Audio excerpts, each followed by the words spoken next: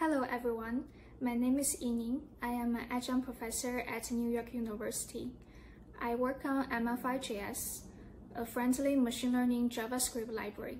In this talk, I will make a brief introduction to ML5JS, how it's built, and discuss some challenges in the development process.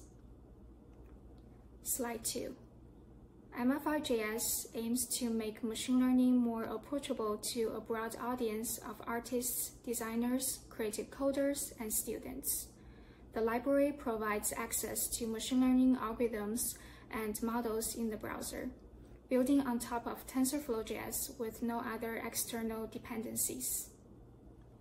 ML5JS is inspired by processing and P5JS, whose goal is to empower people of all interests and backgrounds to learn how to program and make creative work with code. However, to get started with machine learning, one needs advanced understanding of math and programming. And we'd like to make this process easier so that machine learning can be something that everyone can learn, understand, and explore freely. Slide 3. What does ML5JS do? It provides immediate access to pre-trained models in the browser, and we can also build and train our own neural networks in the browser from scratch. Slide 4. Here is an example of MobileNet object detection model running in the browser with just a few lines of code. Slide 5.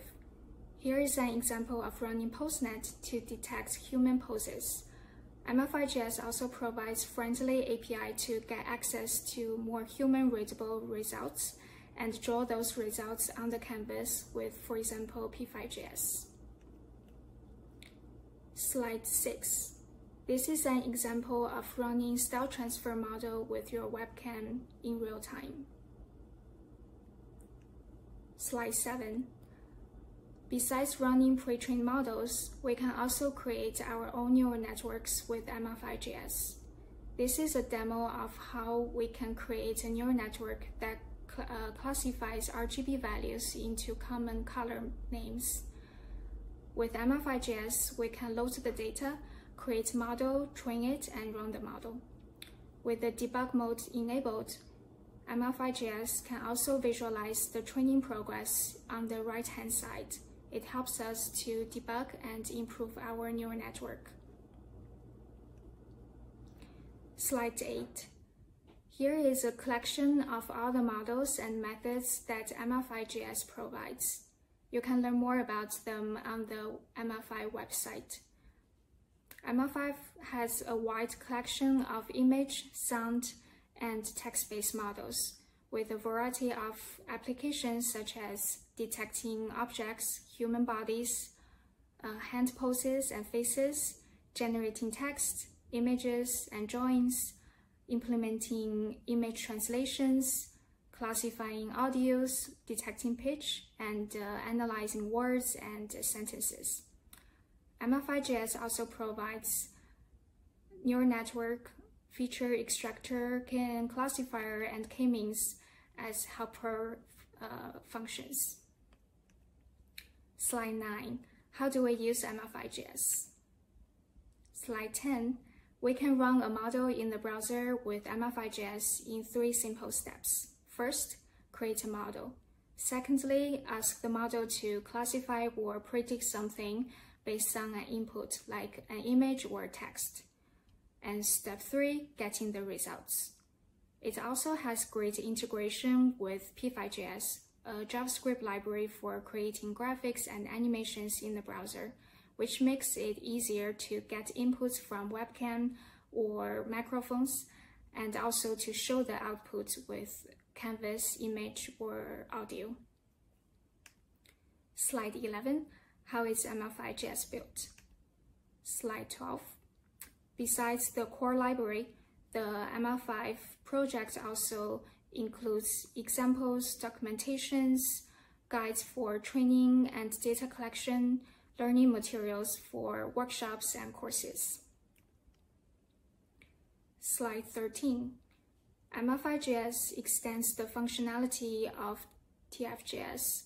It uses TFJS models, Data API, Layer API, and the Vase API. Under the hood, it utilizes the CPU, WebGL, or WebAssembly in the browser. ML5JS provides a high-level and beginner-friendly API to users. Slide 14. Web applications are very accessible.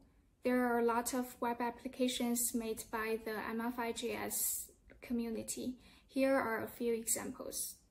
A whack-a-mole game that you can play with your webcam, a flying game where you can control your characters with your voice, an interactive story reading experiments that uses your voice as input to generate stories and drawings.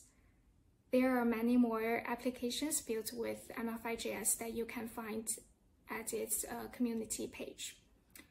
People find the low effort in using existing browser API desirable. For example, using webcam and microphones with the ability of rendering outputs easily to image, canvas, audio, or text elements on the DOM. So they are perfect for creative projects. Slide 15. Web, webcam video, audio, and mouse interactions are often used as input to models, and the conversion between those formats is often a multi-step process.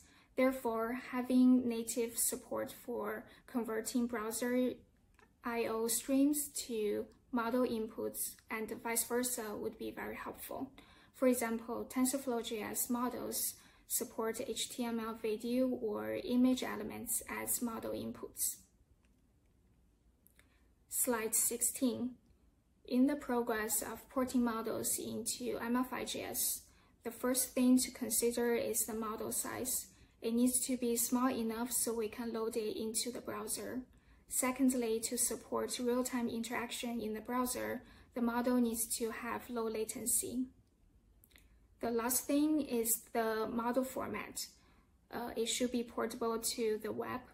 Here is a common workflow of porting a pre-trained model into ML5JS. A model from a machine, machine learning research paper might be implemented in other frameworks like PyTorch.